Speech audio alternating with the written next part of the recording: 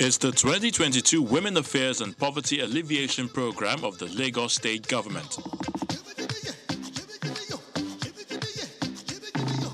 Governor Babajide Sanwo-Olu, executive council members, and other dignitaries converged on the Lagos Continental Hotel, Victoria Island, to support and celebrate those they describe as emerging total women. The commissioner in charge of Women Affairs Ministry explains what the state government is doing to reduce poverty. Our mandate from the Ministry of Women Affairs and Poverty Alleviation remains building resourceful women in order to improve the lives of female residents as Lagos State has zero tolerance to idleness of any form.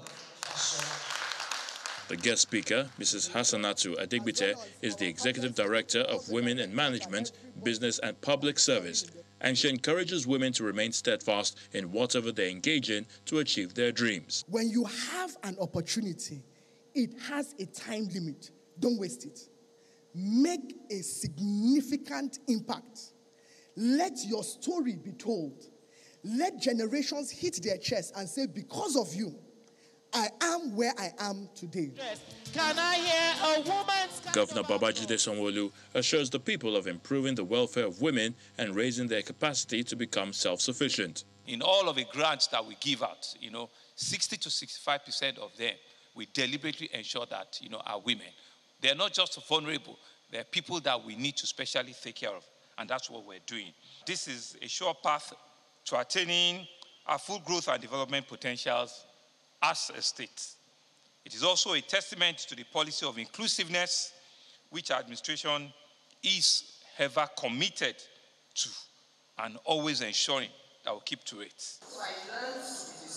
And a word of assurance for those waiting to benefit from the State Empowerment Program. We have 19 skills acquisition centers where women, youth, men, anybody living in Lagos State can walk into and learn a, a skill. The duration ranges from six months to 12 months. And we have a four weeks short term skills training. And all of these trainings are free of charge. So far, over 65,000 women have been empowered since the administration of Governor Sanwo-Olu, and the state government promises to do more for the people of the state.